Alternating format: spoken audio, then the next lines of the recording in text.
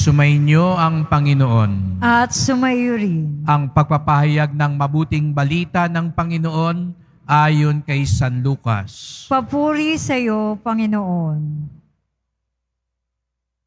Noong panong iyon, sinabi ni Jesus sa kanyang mga alagad, Ipalagay natin na ang isa sa inyo'y nagpunta sa isang kaibigan isang hating gabi at nagsabi, Kaibigan, bigyan mo muna ako ng tatlong tinapay. Dumating kasi ang isa kong kaibigang naglalakbay at wala kong maihain sa kanya. At ganito naman ang sagot ng kanyang kaibigan sa loob ng bahay. Huwag mo nga akong gambalain. Nakatarangkan na ang pinto at nakahiga na kami ng aking mga anak.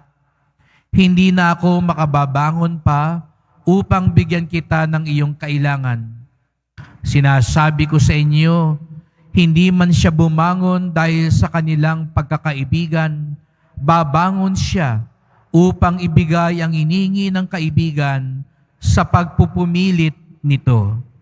Kaya sinasabi ko sa inyo, humingi kayo at kayo'y bibigyan. Humanap kayo at kayo'y makasusumpong. Kumatok kayo at ang pinto'y bubuksan para sa inyo, sapagkat tumatanggap ang bawat humihingi, nakasusumpong ang bawat humahanap, at binubuksan ng pinto ng bawat kumakatok. Kayong mga ama, bibigyan ba ninyo ng ahas ang inyong anak kung humihingi ng isda? Bibigyan ba ninyo sila ng alakdan kung siya'y humihingi ng itlog?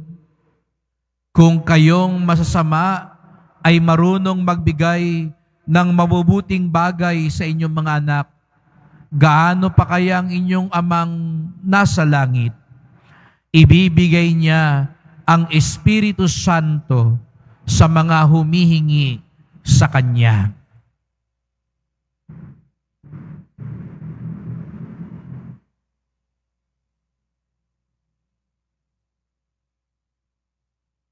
Mga kapatid, ang mabuting balita ng ating kaligtasan.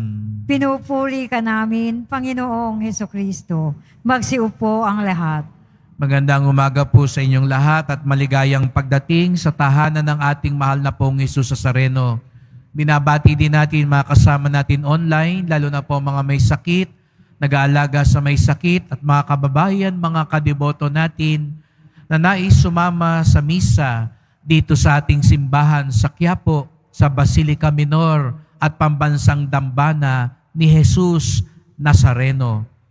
Nitong mga nakalipas na araw ay narinig natin nagtuturo si Jesus Nazareno tungkol sa panalangin. At nung tatlong araw na nakalipas, narinig natin ang kwento ni Propeta Honas na sa bandang huli, Bagamat sumuway siya ng una sa Diyos dahil hindi niya maintindihan ang kagustuhan ng Diyos. Sa bandang huli, sa kanyang pakikipagtalastasan sa Diyos, sa kanyang pakikipag-usap sa Diyos, natanggap niya ang pagkaunawa. Kung matatandaan ninyo, ayaw niyang pumunta sa Ninibe dahil kaaway na mortal yon ng mga Hudyo. Ngunit sinugo siya doon ng Diyos para magbago yung mga tao doon. Nung sumuway siya, nagkaroon ng mga di magandang pangyayari, tumakas siya, nagkabagyo, nilulun siya ng isda, hanggang siyang siya'y matauhan, ay nagpunta siya sa Ninibe. Ngunit hindi doon natapos. Nung naganap niya yung mission niya, Masama pa rin ang loob niya sa Diyos kasi hindi na pinarusahan ng Diyos ang Ninibe. At doon pinaunawa sa kanya ng Diyos ang kanyang lubos na awa at pagmamahal sa lahat ng mga tao. Naunawaan ni Honas ang kalooban ng Diyos. At ito rin ang nais ipunto ni Jesus sa Sareno sa kanyang pagpapaliwanag tungkol sa panalangin. Kahapon, tinuruan niya mga alagad nung nagtanong sa kanya, turuan niyo po kaming magdasal. at ang itinuro niya ay ang Ama namin. Kaya tayong mga deboto, napakabanal sa atin ang dasal na Ama namin. Ginagalang natin. Hindi natin gagawing katatawanan. Hindi natin babaliwalain. Hindi natin ito dadasalin lang ng wala sa puso natin. Sapagkat kung meron mang dasal na malapit na malapit sa puso ni Jesus Nazareno, walang iba kung hindi ang Ama namin. At ito ngayon, pinagpapatuloy niya ang pagtuturo sa pagdarasal. Sa simula, akala natin at minsan kaming mga mangangaral din na may kasalanan, lagi naming babanggitin yung mga pangako ni Jesus Nazareno, humingi kayo at kayo'y bibigyan. Humanap kayo at kayo'y makasusumpong. Kumatok kayo at ang pinto ay bubuksan para sa inyo. Tapos sumihinto na kami doon. Kaya tuloy akala ng maraming tao, ang sinabi lang ni Jesus Nazareno, humingi kayo at ibibigay ko. Ngunit alam naman natin, lahat tayo dito, hindi naman nula talaga ng hiningi natin, ibinigay. Aminin natin yun. Kahit ako, pari na, hindi ho lahat ng hiningi ko, ibinigay sa akin.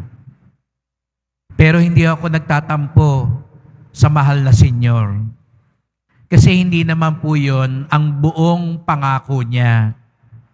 Hindi niya sinabi, lahat ng ihingin natin, ibibigay niya sa atin. Hindi ho politiko ang mahal na senyor na nangangako at napapako, na nambobola minsan para lang matamis sa salita ang lumabas sa kanya. Kung titignan natin ho, sa dulo ng Ebanghelyo, ang sinabi ni Jesus sa Sareno, kung kayong masasama ay marunong magbigay ng mabuting bagay sa inyong anak, gaano pa kaya ang inyong amang nasa langit? Ibibigay niya ang Espiritu Santo sa mga humihingi sa Kanya. Yun po pala ang tiyak na tiyak na ibibigay ng Diyos. Ang Espiritu Santo. Pag hiningi natin ng Espiritu Santo, ibibigay niya. Hindi siya mag-aalinlangan. Hindi siya magdadalawang isip. Yun daw po pala ang tiyak na tiyak. Humingi kayo at ibibigay sa inyo. Humanap kayo at kayo'y makasusumpong. Kumatok kayo at ang pinto'y bubuksan para sa inyo. At ano raw yon? Ang Espiritu Santo. Bakit? Bakit mahalagang matanggap ang Espiritu Santo? Sapagat ang Espiritu Santo ang tutulong sa atin maliwanagan ng isip mabuksan ang puso para mas maintindihan natin ang ibinibigay ng Diyos sa atin. Kung tumanggi ang Diyos, sumingi ka ng pera, ng kayamanan, hinihingi mo ngayon yung promotion, tapos hindi yun ang nangyari, ang Espiritu Santo ang tutulong sa atin para maunawaan ano ba talaga ang kalooban ng Diyos. Mga magulang po, natitiyak ko ang maraming na dito ngayon. Ilan sa inyong mga anak ang nagtampo sa inyo nung hindi nyo ibinigay ang inihingi nila? Pero kayo mismo ang nakakaalam hindi makatutulong sa Kanya, kaya hindi nyo binigay. Pero di ba, dumadating yung pagkakataon, kahit anong paliwanag mo, hindi nila maintindihan. Magdadabog sila sa inyo, di kayo kakausapin, masakit ka minsan, aawayin pa kayo, pero hindi pa nila agad maintindihan. Hingi sila ng hingi ng tsokolate, pero alam nyo, masama sobra nun. Masisira ngipin nila. Pero hindi nila maintindihan agad yun. Hihingi sila ng tablet, pag nakita lalo yung ibang mga kaklase nila, o cellphone, para may laruan sila. Pero alam nyo, hindi rin makabubuti yun sa kanila. Hihingi sila ng mamahaling bagay, pero alam nyo, hindi yun ang tama. Ngayong malalaki na kayo, tandaan nyo, nung kayo rin ang tinanggihan, ngayon, nauunawaan nyo na bakit hindi iyon agad ibinigay o hindi talaga binigay sa atin. May mga bagay na hindi tayo lubos agad maunawaan. Doon pumapasok ang Espiritu Santo para tulungan tayo. Kaya nga sa unang pagbasa, hindi rin maunawaan ni Propeta Malakias, bakit yung mga palalo parang ang sarap-sarap ng buhay? Bakit yung mga nagsusumikap, magpakabait, nagdarasal, sila yung nahihirapan? Pero ang sabi ng Diyos, sa takdang panahon, mauunawaan mo ang lahat. Sa takdang panahon, ang katarungan at karunungan ng Diyos ang mananaig. Yun ang ating idasal. Ang Espiritu Santo.